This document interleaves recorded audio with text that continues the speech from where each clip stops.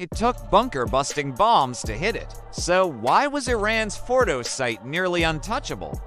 Well, the Fordow fuel enrichment plant was built near the city of Qom inside an actual mountain. 90 meters, that's 300 feet underground.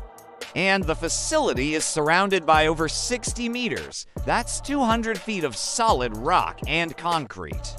So it was designed to survive airstrikes, including bunker buster bombs. In fact, even the US military admitted that it was extremely difficult to reach, requiring pinpoint accuracy and massive firepower to penetrate the Fordow site. So, what did it take to breach? Well, during Operation Midnight Hammer in June 2025, the US sent in B-2 bombers armed with massive ordnance penetrators, also known as bunker busting bombs.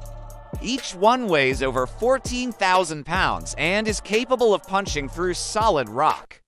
Despite all of this, Fordow was built like a fortress and it almost worked. Follow Factstorm for more secrets behind the world's most secure places.